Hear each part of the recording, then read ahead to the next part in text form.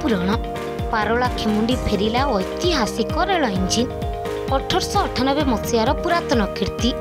ଲୋକଙ୍କ ଯାତାୟାତ ପାଇଁ ନିଜସ୍ୱ ଖର୍ଚ୍ଚରେ ପାରଳା ରାଜବଂଶୀୟ ଯେଉଁ ରେଳ ସେବା ଆରମ୍ଭ କରିଥିଲେ ପ୍ରାୟତଃ ଅଖଣ୍ଡ ଭାରତବର୍ଷରେ କିଛି ହାତଗଣତି ସ୍ଥାନରେ ହିଁ ରେଳ ସେବା ରହିଥିଲା।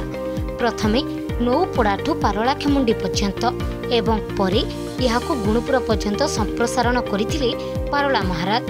ସେହି ସମୟରେ ପ୍ରଥମ କରି ଯେଉଁ ଇଞ୍ଜିନ୍ ରେଳ ସେବା ଯୋଗାଇ ଆସୁଥିଲା ତାହା ନେରୋ ଗେଜ୍ରେ ଚଳପ୍ରଚଳ କରୁଥିଲା। ଦୀର୍ଘ ବର୍ଷ ଧରି ଏହି ରେଳ ଇଞ୍ଜିନ୍ଟି ପୂର୍ବତଟ ରେଳ ଜୋନ୍ ୱାଲ୍ଟିୟର ଡିଭିଜନ କାର୍ଯ୍ୟାଳୟଠାରେ ଶୋଭାବର୍ଦ୍ଧନ କରୁଥିଲା। ପରେ ସ୍ଥାନୀୟ ଲୋକେ ଏହାକୁ ଫେରାଇ ଆଣିବା ପାଇଁ ରେଳମନ୍ତ୍ରୀଙ୍କ ନିକଟରେ ବାରମ୍ବାର ଦାବି କରି ଆସୁଥିଲେ।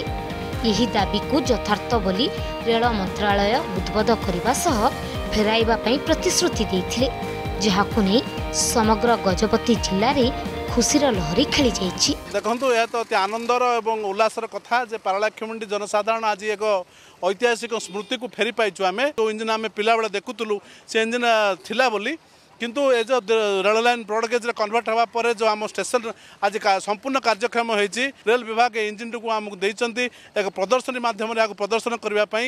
ପାରଳାକ୍ଷମଣ୍ଡି ଜନସାଧାରଣ କଥା କୁହନ୍ତୁ କିମ୍ବା ଏ ଆଖପାଖ ଅଞ୍ଚଳର ପାରଳାକ୍ଷମଣ୍ଡି ଜମିଦାରୀ କଥା କୁହନ୍ତୁ ଦକ୍ଷିଣ ଓଡ଼ିଶାର ଲୋକଙ୍କର ଏକ ଭାବାବେଗ ସହିତ ଏହା ଜଡ଼ିତ।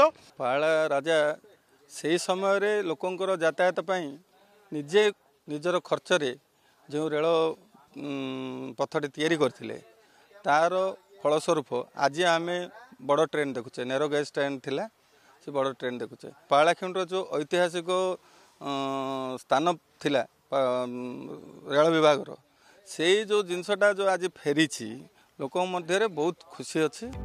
ୱାଲ୍ଟିୟର ଡିଭିଜନ ଦ୍ୱାରା ଷୋହଳରୁ ଅଠର ଲକ୍ଷ ଟଙ୍କା ବ୍ୟୟରେ ନିର୍ମିତ ଏକ ଅବିକଳ ଟ୍ରେନ୍ ଇଞ୍ଜିନ୍କୁ ପାରଳା ଖେମୁଣ୍ଡି ଅଣାଯାଇଥିଲା।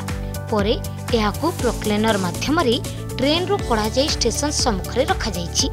ଯାହାକୁ ଦେଖିବା ପାଇଁ ଭିଡ଼ ଜମୁଥିବା ବେଳେ ଲୋକ ସେଲ୍ଫି ନେବା ସହ ପାରଳା ମହାରାଜାଙ୍କୁ ମନେ ପକାଉଛନ୍ତି। ପାରଳାଖେମୁଣ୍ଡି ମହାରାଜା ପ୍ରକୃତିରେ ଥିଲେ ଜଣେ ଜମିଦାର ଇଂରେଜ ଶାସନ ବେଳେ।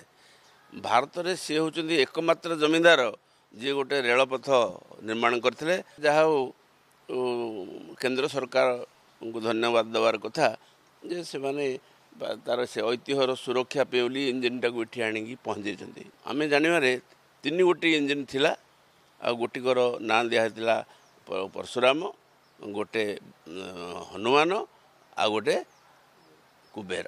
ଏମିତି ତିନିଟା ନାଁ ଦିଆହେଇଥିଲା। ବହୁତ ଆନନ୍ଦିତ ମୁଁ ଯେ ଯାହା ହଉ ଏତେ ଦିନ ପରେ ସେଟା ଗୋଟେ ସୁରକ୍ଷିତ ଏଠି ରହିବାର ବ୍ୟବସ୍ଥା ହେଲା। ଆଉ ଉତ୍ତର ପିଢ଼ି ସମସ୍ତେ ଜାଣିକିରି ନିଶ୍ଚୟ ଉତ୍ସାହିତ ହେବେ ଏଥିରେ ଏଥିରେ ସନ୍ଦେହ କିଛି ନାହିଁ। लगभग इसको बनाने के लिए तीन महीना हुआ है। तो मेनली पाँच आदमी उसको टैकल किया है। इसका वज़न है एट टू टन के टन टन ये एक अचीवमेंट है परला कमेटी स्टेशन के लिए।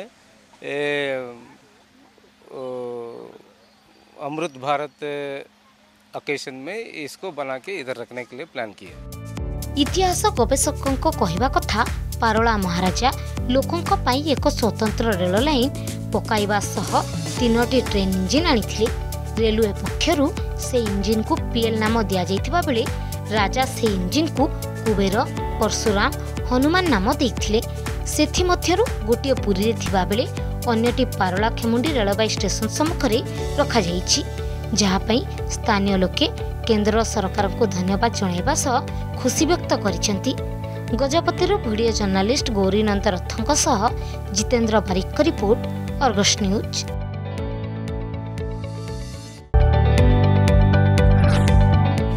ଯଦି ଆପଣଙ୍କୁ ଆମ ଭିଡ଼ିଓଟି ଭଲ ଲାଗିଲା ତେବେ ଆମ ଚ୍ୟାନେଲକୁ ଲାଇକ୍ ସେୟାର ଓ ସବସ୍କ୍ରାଇବ୍ କରିବାକୁ ଜମା ବି ଭୁଲନ୍ତୁ ନାହିଁ।